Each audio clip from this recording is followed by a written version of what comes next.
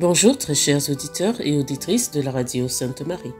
Je suis Julienne et je vous accompagne chaque jour avec la méditation quotidienne, un moment avec Jésus chaque jour de l'année.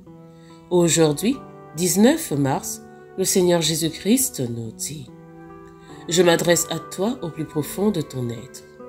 Écoute-moi murmurer des paroles de paix et de réconfort qui t'assurent de mon amour pour toi. N'écoute pas les mots accusateurs, car ils ne viennent pas de moi.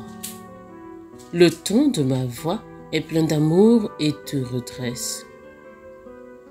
Mon esprit est capable de te convaincre sans t'écraser sous le poids de la honte.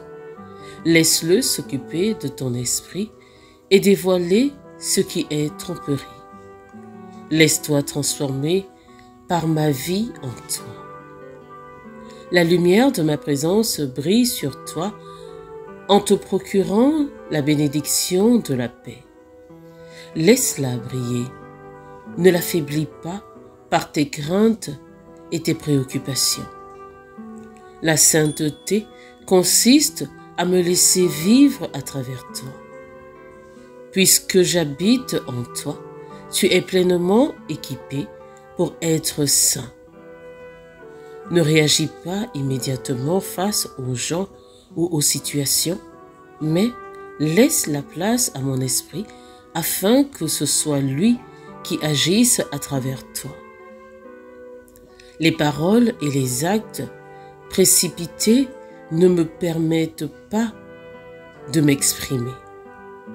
C'est une manière de vivre sans moi. Je veux occuper chaque instant de ton existence et embellir tes pensées, tes paroles et ton comportement.